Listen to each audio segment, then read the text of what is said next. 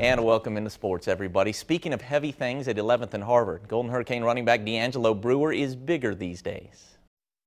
Oh man, it seems like everybody's asking me that. Yeah, I'm I'm up about a good 10 to 12 pounds. You know what yeah. I'm saying? I do know what you're saying. Brewer, TU's top rusher last year, 965 yards, seven touchdowns, but his 175-pound frame took a beating. Coach Montgomery believes bigger will be better. He had a, he had a tremendous year last year, but ended up missing a couple of games due to injury. And you know, talked to him honestly on the bus trip home from Oklahoma, and uh, just told him, "Hey, your weight's got to come up." And he's been very diligent about it. That's the biggest thing, you know, making sure, you know, what I'm saying it's not so easy to turn me around and spin me around. So you know, all off season, just getting stronger, getting more explosive. You know, what I'm saying, so I can make those explosive plays.